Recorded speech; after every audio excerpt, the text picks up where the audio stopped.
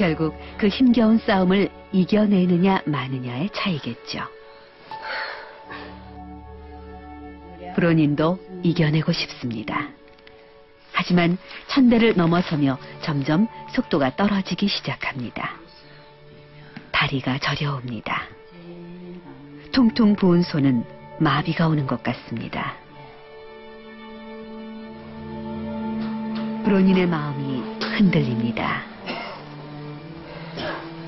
그때 법원 스님이 다시 들어와 자리를 잡습니다. 박장희 씨도 보입니다. 혼자 남은 브로닌에게 힘을 실어주기 위해서죠. 천군 만마를 얻은 브로닌. 다시 힘을 내 몸을 일으켜 세웁니다. 시작은 달랐지만 지금 이 세 사람은 같은 마음으로 절을 하고 있습니다.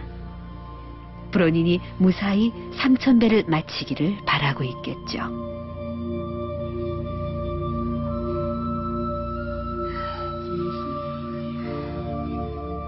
그러나 시간이 흐를수록 체력의 한계가 느껴지는 건 어쩔 수 없습니다.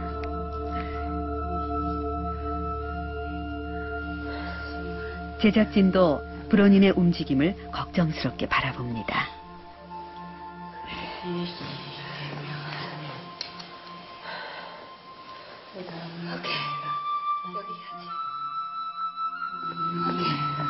여기 하지. 나도 못합니다. 더 못하겠어요? 어, 여기 하지.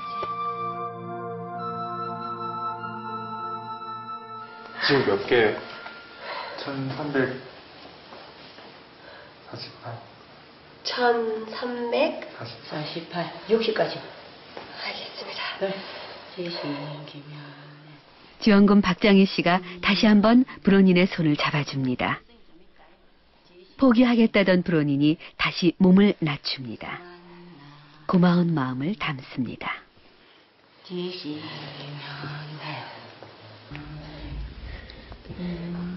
고국인 남아프리카 공화국엔 절 문화가 없습니다.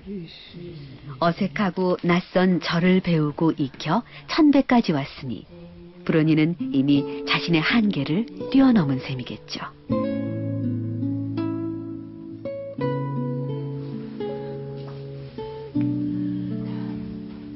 거친 숨을 내쉬며 입술 꽉 깨물고 다시 한번 마음을 다잡아 보지만 몸이 먼저 말합니다.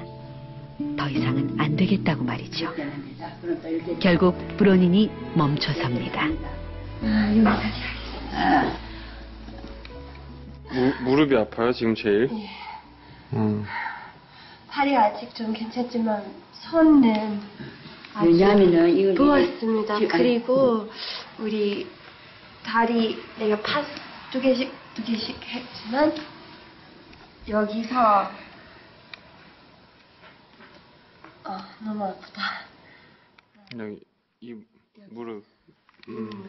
나중에 또 후회할 수 있지만 지금 몸이 너무 너무 움직이 못합니다. 그래서 여기까지 하고 집에 가서 연습도 하고 나중에 삼촌분 할수 있겠습니다. 브로니는 절 문화를 직접 배우며 한국을 더 잘 이해하게 됐습니다.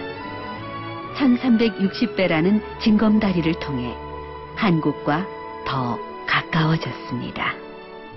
지난번 왔을 때560 그래서 두세 배. Not bad. 나쁘지 않습니다.